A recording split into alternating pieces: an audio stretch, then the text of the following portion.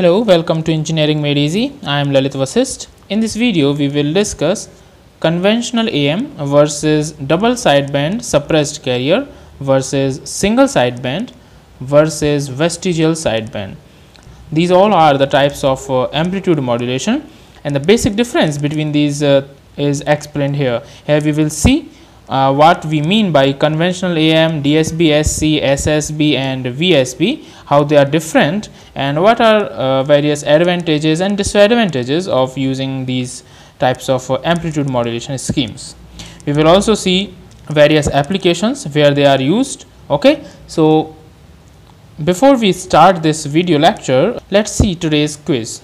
This quiz is related to this uh, video and the question is which of the following amplitude modulation scheme requires minimum bandwidth? That is which one of these uh, amplitude modulation scheme is most efficient? So option a is conventional am option b is single sideband known as ssb in short double sideband suppressed carrier or vestigial sideband vsb okay? So if you know the answer of this question please uh, write your answers in the comment section of this video and now let us start our video.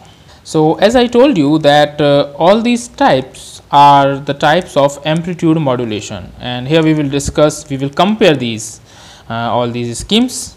So, first know what are these schemes and why they are named so.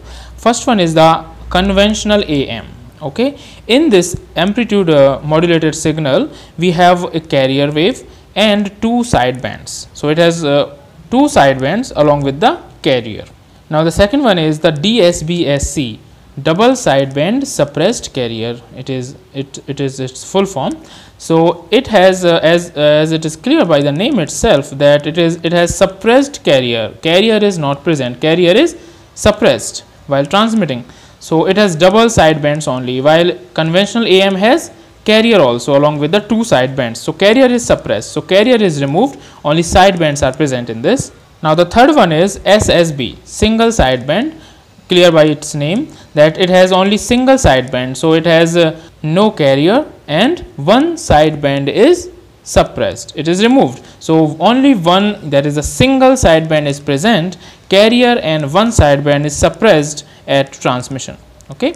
The fourth one is vestigial sideband VSB. This is another modulation scheme of amplitude modulation. So, in this what we do instead of rejecting one sideband completely like we do in uh, SSB where we have only one sideband single sideband we do not remove it completely. We uh, what we do a gradual cutoff of one sideband is allowed. In this sideband is not removed completely. Now, it is time to see the advantages and applications of all these uh, four types of amplitude modulation schemes. So, let us start. So, first one is the demodulation that is the detection of conventional AM is easier in comparison to that of double sideband suppressed carrier and single sideband systems. The demodulation of conventional AM is also less costly, it is less expensive. So, if we want a cheap and easy option for detection of the signal then we should adopt conventional AM where in the modulated signal we have a carrier wave and two sidebands. Its demodulation is easier in comparison to DSB, SC and SSB and also less expensive. Now see the second point. It is easy to produce conventional AM signals at high power levels. So, these can be used for broadcasting services.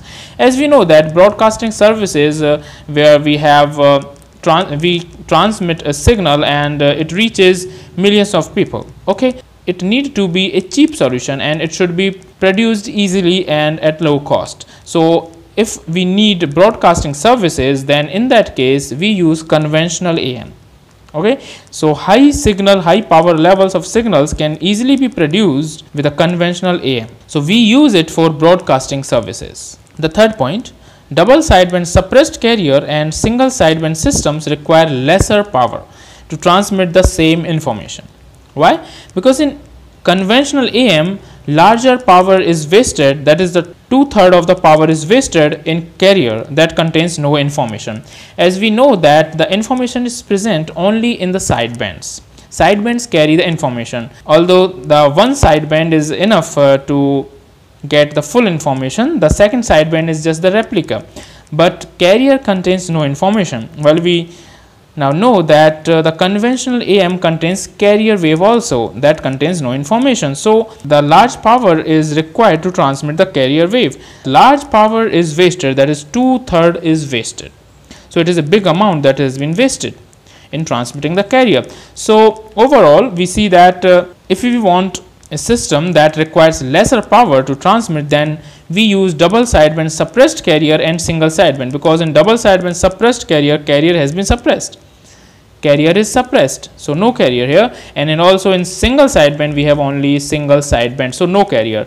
So we want that carrier should not be present as it consumes large power to transmit in case of conventional AM it is two third so only one third power is uh, used uh, to tra uh, to transmit the information in case of conventional AM so conventional uh, AM is not a good option from the power point of view although it is a cheap option and also easy and less complex option in comparison to DSB-SC and SSB. Now let's come to the fourth comparison. The DSB-SC and SSB modulation systems are used in point-to-point -point communication while conventional AM in public broadcasting systems because the receivers of DSB-SC and SSB are although efficient but are much more complex and expensive. I have told you it earlier that uh, this uh, conventional AM is used for public broadcasting as it can produce large powers and uh, not only this, uh, since we know that uh, a public uh, broadcasting system need to be an inexpensive or you can say less costly and easy to maintain, okay, and easy to operate system because it has to serve a large number of people, millions of people. So, if we want to serve large number of people that is for broadcasting, public broadcasting purpose, then we go for conventional AM but if we want uh, to use point to point communication that is a single transmitter and a few receivers then we use double sideband suppressed carrier technique or the single sideband system okay? The fifth point is here is the comparison or the order of bandwidth required in uh, all these four amplitude modulation schemes. That is there is the order of bandwidth required okay? Uh, so large amount of bandwidth is required for the conventional am because it contains two sidebands and a carrier wave also. And less than this is required in double sideband suppressed carrier and smaller than this is required in VSB vestigial sideband and least the minimum amount of bandwidth is required. That is you can say that it is single sideband is the most efficient scheme okay in amplitude modulation. So this is the order. Keep it in mind. Very important okay? So single sideband is the most efficient modulation scheme okay? From the bandwidth point of view. You should also notice here that the bandwidth required in single sideband is only half of the bandwidth required in double sideband suppressed carrier. Because it has two sidebands without carrier only two sidebands and it has a single sideband. So bandwidth is half of the bandwidth required in DSB-SC also, you should note here that bandwidth of vestigial sideband VSB is nearly 25% higher than that of the SSB, but much lesser than DSB-SC. That is, SSB single sideband is most efficient. It needs least bandwidth in uh, all these four schemes, uh, even uh, smaller than the VSB. And the VSB's uh, bandwidth is only 25% higher than the SSB, which is the least. Okay, SSB is requires least bandwidth. Sixth point, VSB signal generation is easiest in comparison to other techniques like conventional AM, DSB-SC and SSB. In all of these uh, four schemes, vestigial sideband signal generation is found to be easiest. It is easiest if you want to generate amplitude modulation signal, then uh, we adopt VSB signal generation for easiest processing. Okay. The seventh point, it is based on the applications uh, where these uh, schemes are used. This vestigial sideband VSB is used for the transmission of television signals. SSB is used for long distance transmission of voice signals, while conventional AM finds its application mostly in public broadcasting services. So uh, we have already seen it that conventional AM finds its application in public broadcasting services. We know this. The thing, new thing is that this VSB, vestigial sideband, is used in the transmission of television signals. Okay, and this SSB, single sideband, containing only one sideband, is the most efficient modulation scheme and uh, it is used for long distance transmission. We use it for transmission of voice signals when we want to transmit it to long distances because it allows to use the repeaters at large distances. So, long distance transmission of voice signals is possible with a single sideband, while VSB is a standard for the transmission of uh, television signals.